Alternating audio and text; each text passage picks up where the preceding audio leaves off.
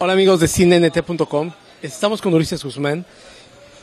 Ustedes recordarán que hace algunos años se estrenó un documental que se llama, bueno, un documentary, se llama Alucardos, que es toda una maravilla dentro del cine documental mexicano al presentar una historia sobre la película Alucarda, pero que tiene que ver más con el director López Moctezuma, que con otra cosa y que es muy interesante y que bueno, ahora tenemos la noticia que Ulises está trabajando en una película colectiva de terror que se llama México Bárbaro.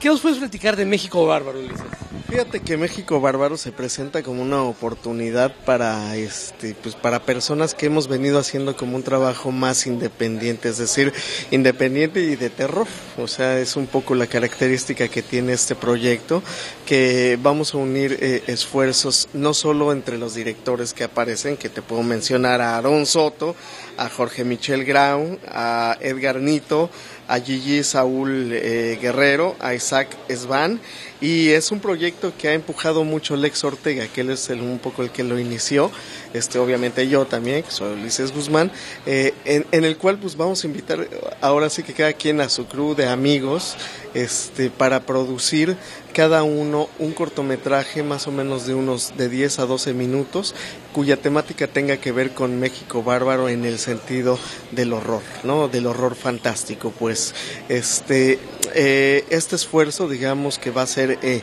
eh, múltiple, también va a tener una la vertiente de que de ahí sea un trampolín para los técnicos jóvenes y todo esto que se dediquen específico a este a este género, ¿no? Maquillistas, ya sabes, este efectos especiales y tal.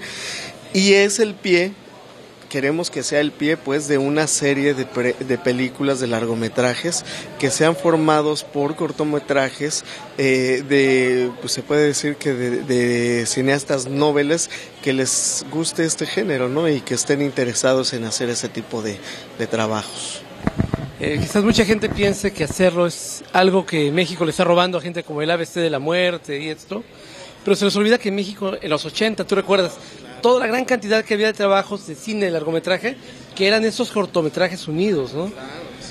Siempre ha sido un recurso, siempre ha sido un recurso que te da el cine, ¿no? O sea, de hecho, básicamente, pues cada escena es un corto que vas uniendo para hacer un largo, ¿no? En esencia, justamente, este, nos hemos valido de este tipo de discurso que probablemente ya junto puede quedar disparejo, puede quedar un poco chuequillo y todo esto, pero no deja de tener un gran interés para el público mayoritario porque ahí pueden ver una ventana de eh, los mitos que se que este de terror que viene que se dan aquí en México vistos por los chavos y por la gente que, que, que hacemos cine, ¿no? Entonces ese es un poco también el interés del proyecto.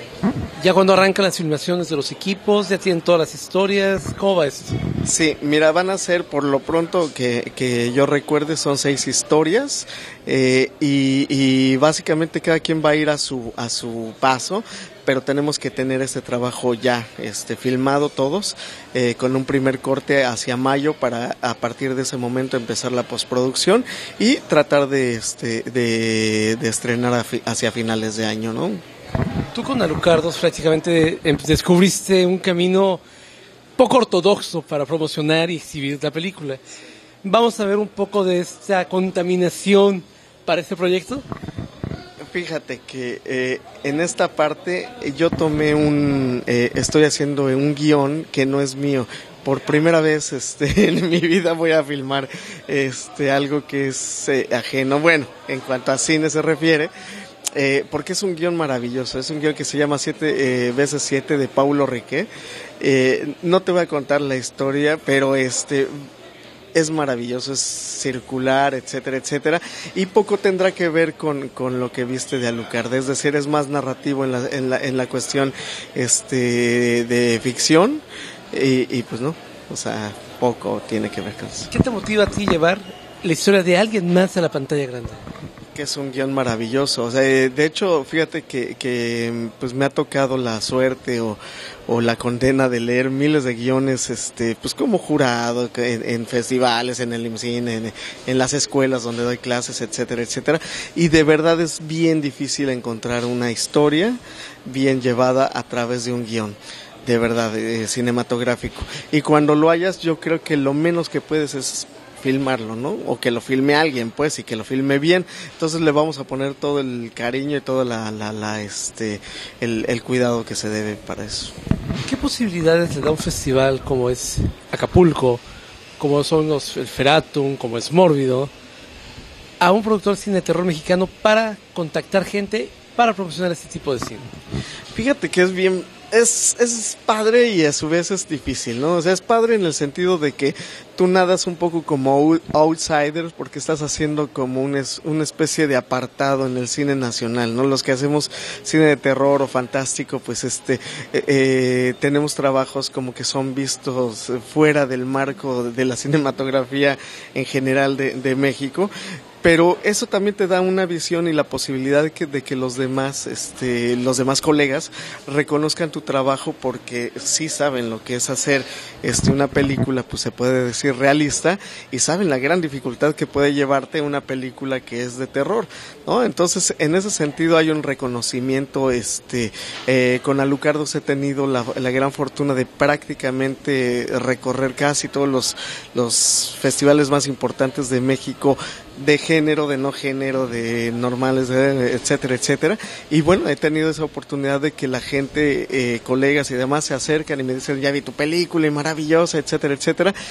Y el problema quizá, o sea, lo que te, vería, te, diría que es un poco el inconveniente es quizá ya platicando con los las mayors o con productores este de grandes presupuestos para que crean en proyectos de, de esta índole, ¿no? O sea, se les sigue apostando solamente a la, a la comedia romántica o algo muy seguro, ¿no? al drama, cuando, cuando hay que, o sea, hay cosas que no se pueden evadir y hay que decir que en México el cine mexicano es reconocido mundialmente por las canciones de rancheras y por el cine de terror, es un hecho. Entonces, creo que por ahí es hay una vertiente que se está desaprovechando este eh, con poca fortuna de, eh, de los productores y cuando se llega a hacer este, no en general, generalizo pues nada más, pero cuando se llega a hacer, de pronto este, no hay el cuidado de que lo hagan personas que están dedicados a ese tipo de género que les gusta o con historias que sean innovadoras, ¿no? O sea, de pronto se quiere imitar el, la película que salió hace 3, 5, 10 años en, Hollywood y, pues no, es, es imposible, ¿no? O sea, tú, tú sabes que quedan medio raras. ¿Cuál es tu película fantástica mexicana? Uy, qué buena pregunta. Es, mira, probablemente no esté encuadrada en, lo que podríamos llamar el terror, este, pero a mí la escena que más me ha impactado de terror mexicana, este, es una que hizo Luis Buñuel, Los Olvidados. ¿Te acuerdas cuando encuentra el bistec abajo de la cama y todo? Es que es surrealista, pero de terror y demás. Bueno, esa es, esa es la escena, pero creo que la, la película que más me, me, me impacta es este, Hasta el viento tiene miedo, la primera versión, ¿no? Es, ¿Conoces a alguien que le impacte la segunda? No, no, no todavía. bueno, habrá gente. Oye, ¿has pensado con esta fascinación que hay sobre el cine de tu abuela que tienes y todo, intentar hacer un remake de alguna de ellas?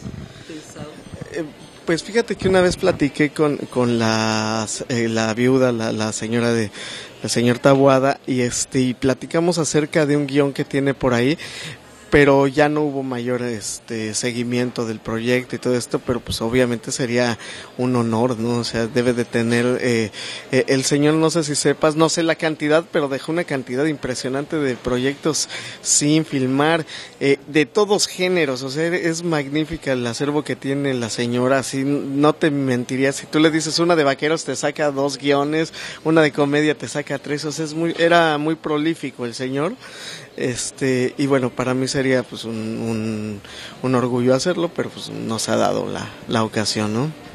Eh, después del proyecto de México Bárbaro, ¿qué viene para Ulises Guzmán? Eh, a, la, a, la, par de lo que estoy haciendo esto, estoy haciendo una película que se llama eh, Los que regresan, que es básicamente este un proyecto que ya tenemos tres años persiguiendo y, y levantando, un proyecto un poco de más envergadura en cuanto a presupuesto y que eh, trata acerca justamente del regreso de, personas muertas, ¿no?